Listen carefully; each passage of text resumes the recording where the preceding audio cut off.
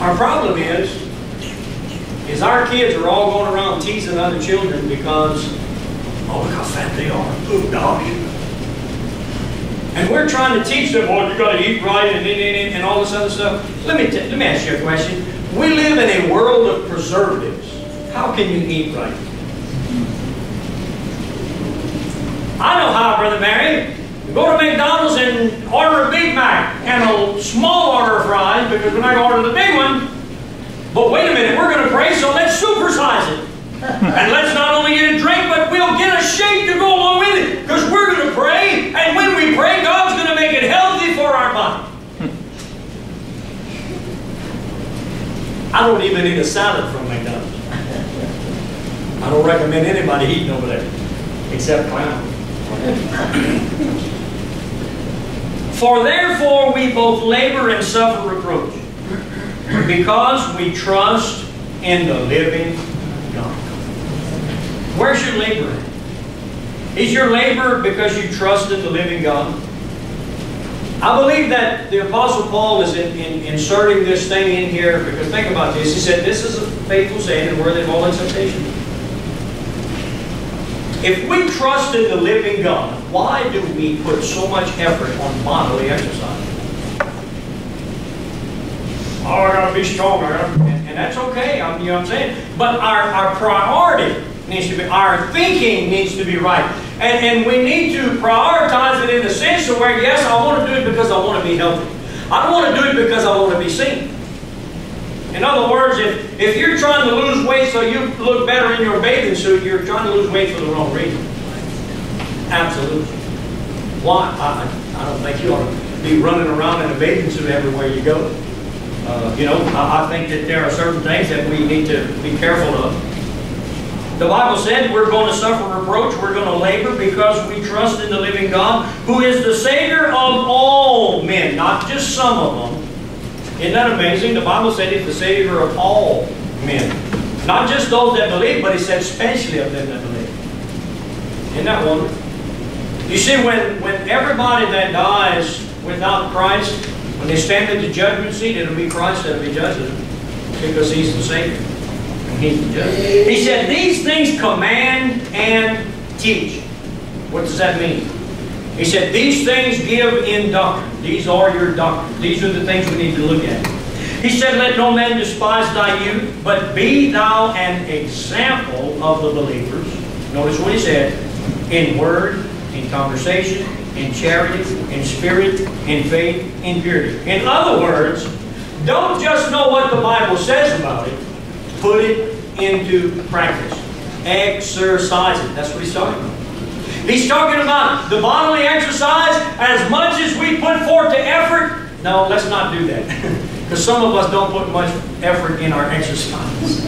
Some of us might. You know, once you get into the routine of it, I know how it is. You know, you like, you sit there and you look at that weight bench or you look at that exercise machine and every day of your life, five or six times an hour, you look at that thing I need to get on that thing.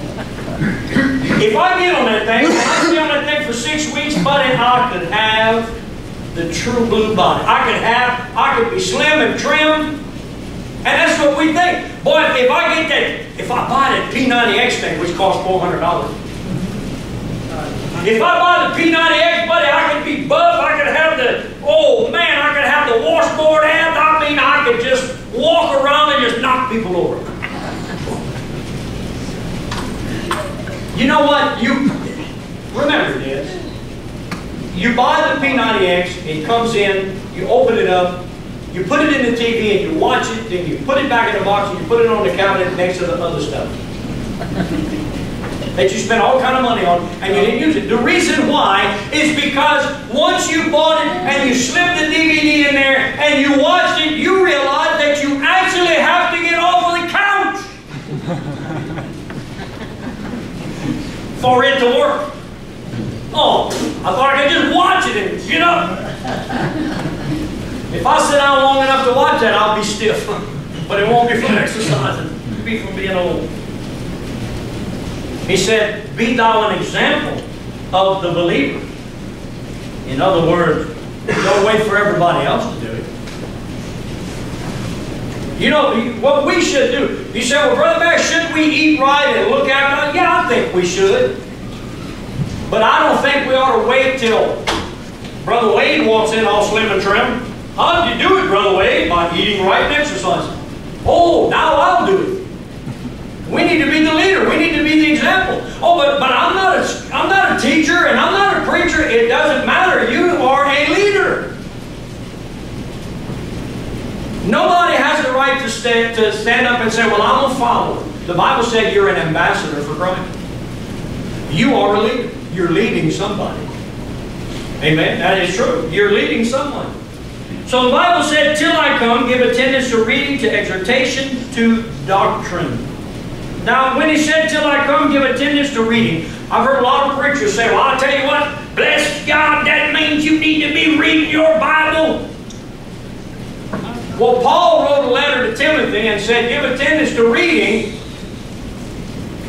to a bunch of people that didn't have a Bible. So what does it really mean? You see, they didn't have a King James Bible.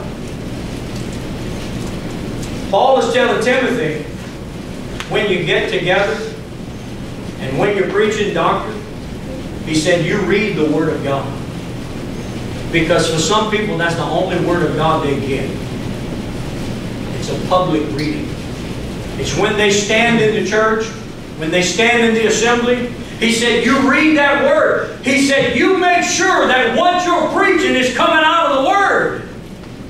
You make sure that your doctrine is backed up in the Word of God. That's what's wrong with some of these teachings that are going on. That's why there's a false out there. That's why there's a false fire out there. That's why there's a bunch of counterfeit Jesuses out there. Is because people are preaching their own thing and they're not backing it up in the Word of God. If you come to church and you don't bring a Bible, shame on you. If you come to church and you bring a Bible that you don't read at home, double shame on you.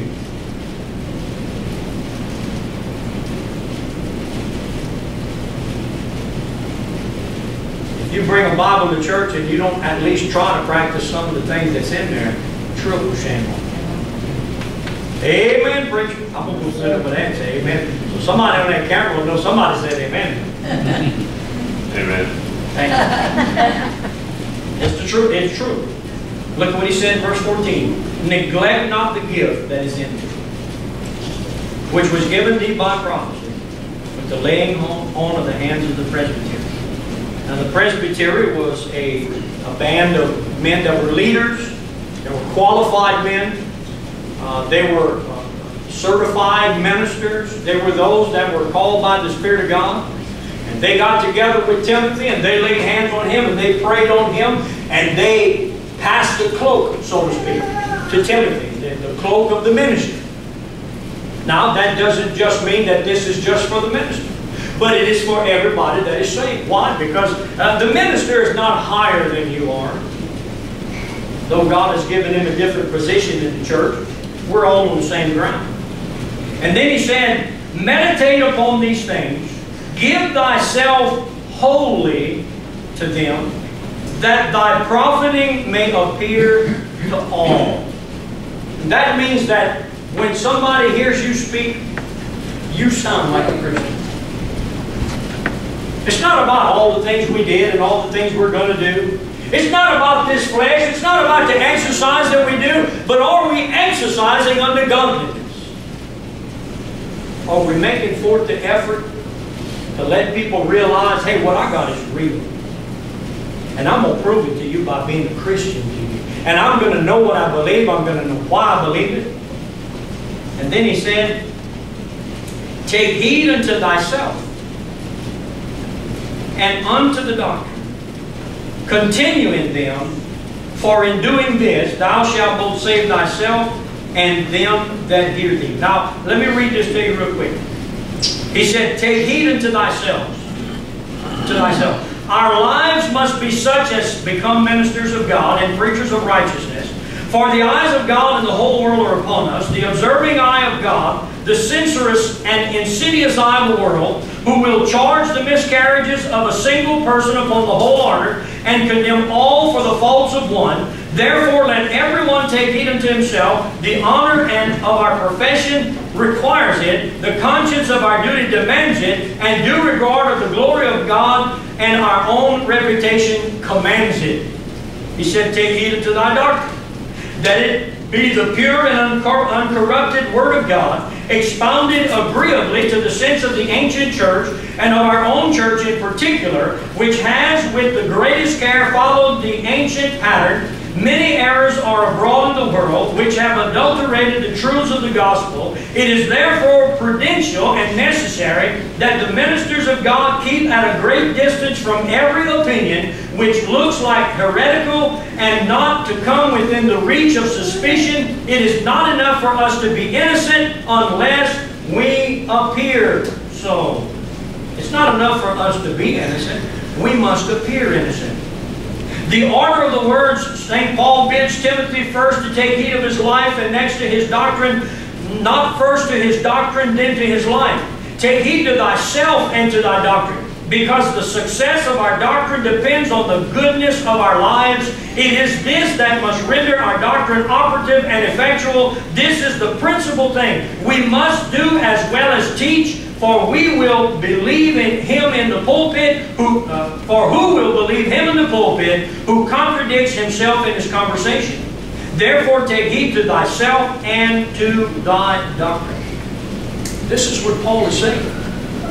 He's saying that we must exercise in our life. This is what's wrong with most people out there. You know, there'll be all kind of good Christians in church on Sunday, and on Sunday night and on Wednesdays and during revival meetings, but to get them on the job and they act like everybody else out there. Something's wrong with that. I don't believe a true Christian is going to do that. You're not going to be a, uh, a, hypocrite. That's what the Bible said, teaching hypocrisy and lie, or lies and hypocrisy. Believing one thing, yet teaching something else. We're going to deal some more with these issues. I've still got these other verses I want to deal with. But you know what? In dealing with doctrine, we must know what we believe, but we must know why we believe it, and we must live according to what we know and understand. Oftentimes, we put away things because, well, I don't know everything about it. How many of you have bought a television or a VCR in the last 10 years? And when you brought that thing home, when you opened it up, you looked at it and you say, you know what, I don't need this owner's manual. I know everything there is to know about this thing.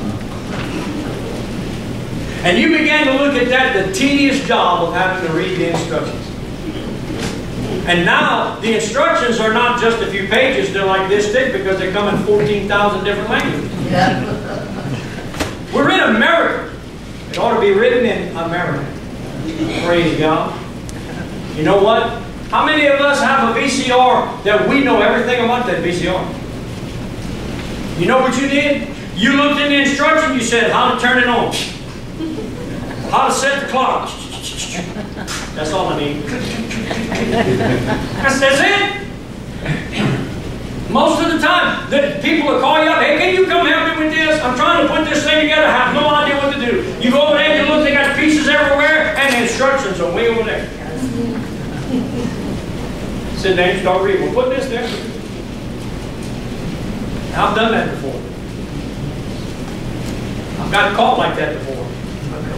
Take the instructions, I can put that together. Mm -hmm. Oh, man. That's it. Extra parts. Oh, all kind of extra parts. Get uh, Unneeded parts. We can't have extra parts in our doctrine.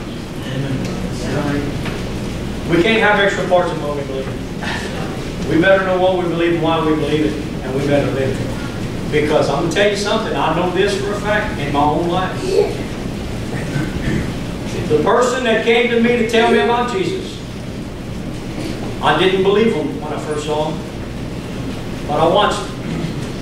And when they convinced me that they had something better than what I could ever imagine, I began to listen. That's how you're going to win somebody to Jesus. You need to put it in practice and exercise what we said.